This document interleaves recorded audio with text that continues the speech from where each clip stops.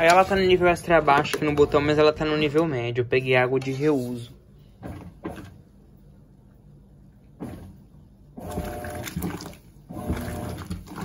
Assim como o batedor da, da Color Mark deu aqui, o impeller da Pop deu na Color Mark.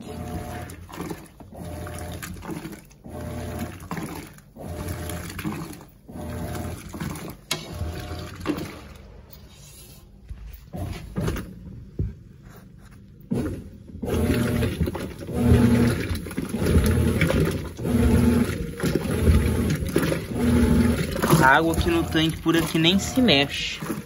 Olhando. Aí ela tá vazia.